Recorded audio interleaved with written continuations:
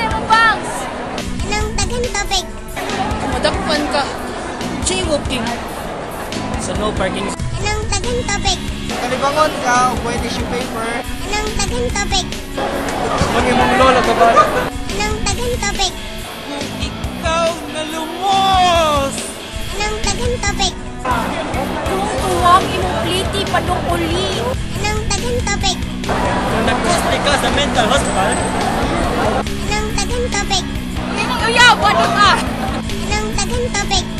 Kung imong tubo, lagong-ong sa inodor. Anong daghang topic? Kung ang beer mo, dunggo sa pantalan. Anong daghang topic? ugong sa kadako sa Indian. Anong daghang topic?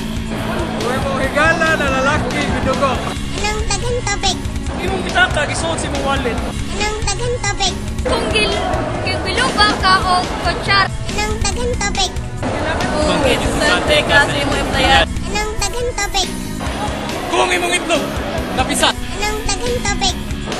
Kung magkuyog ko sa imong uyab, mahurot imong kwarta. Anong daghang topic? Kung nakalimot ka sa lyrics yung itan pa. Anong daghang topic? Nangita ka sa tindahan, ng Tanway 69. Anong daghang topic? Kung ang imong lula, porn star. Anong daghang topic? Nilang ikas, asfalto. Anong daghang topic? Kung Kung ang imong brief, sulobin mo sa imong ulo. Anong daghang topic? Kung ang imong sayal, ihulman sa uyab. Anong daghang topic? Kung imong uyab, ikaw papel. Anong daghang topic? Kung imong glow, kung glow. Anong daghang topic? Kung imong tukol, nasa iyong aktam. Anong daghang topic? Alam mo sa ulay. Atay! Okay.